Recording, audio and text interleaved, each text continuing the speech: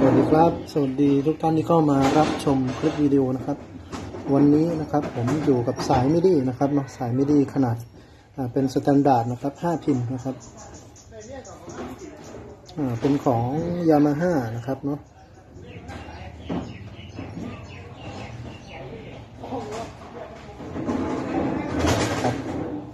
เป็นของยี่ห้อยามาฮ่านะครับเนาะสภาพดีครับไม่มีรอยต่อนะครับ ไม่มีรอยต่อ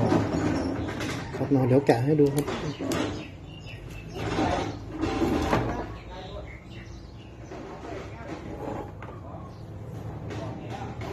อ๋อนะครับเดี๋ยวมาวัดความยาวดูเลยครับ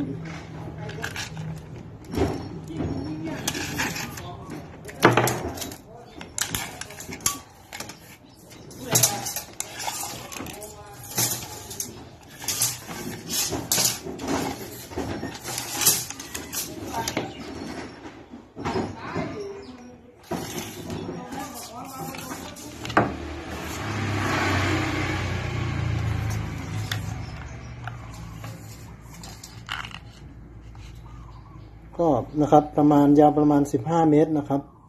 ความยาวรวมวัดโดยประมาณนะครับเนาะก็ตลับเมตรวัดเอานะครับ โอเคนะครับ ก็สภาพสวยอยู่นะครับใช้ได้ปกติ